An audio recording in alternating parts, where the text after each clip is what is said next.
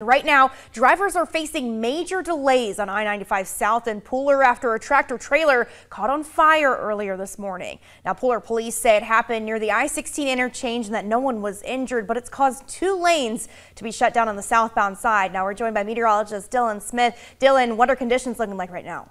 Well, based off what we're seeing with our travel times, if you're trying to get off at the Pooler exit and make it through I-95 southbound, that's going to take you about 30 minutes right now, Haley. So really recommending drivers find an alternate route. If you're coming in from the Ridgeland area, I'd recommend getting onto southbound 21 and then hopping on Dean Forest Road. That can get you around this, really just trying to get people to avoid the Pooler area, but still tracking that back up, and we'll keep you updated on that situation as we head through the rest of this evening.